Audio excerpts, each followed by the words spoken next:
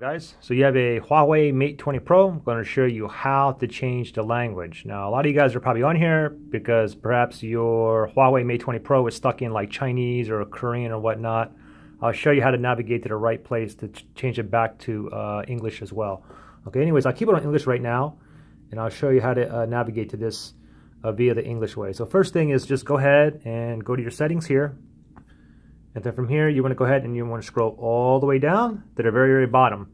Down here says system. The, one of them is language and input. Okay, oops, language and input. So go ahead and tap on this. And then down here it says language and input. So tap on that. And then from here, you want to tap on language up here. Okay, now I already have three languages on here. If I tap on here, I have uh, English, Chinese, and Spanish.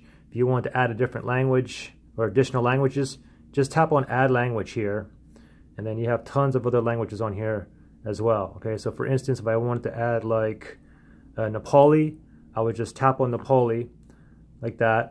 And now I would go back on here. Oops, let me add language again. And I'll just go back to Nepali here.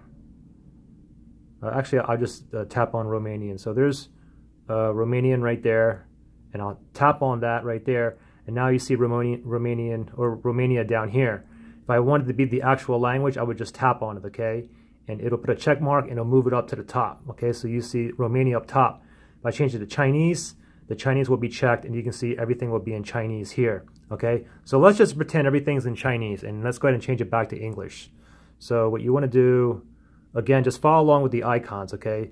So first thing is, and you can see everything is in Chinese right now, my icons and everything. So tap on settings here, and then what we want to do, remember, scroll all the way down to the very, very bottom, and you want to look for this icon right there, okay? So tap on that, and then from here, it's the fourth one down. One, two, three, four. This one here, tap on that, and it should be the languages right here, first one.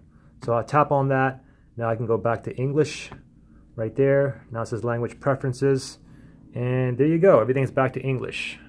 You guys have any questions or any issues, uh, just comment below and I'll try to help you guys out. All right. Thanks for watching, guys.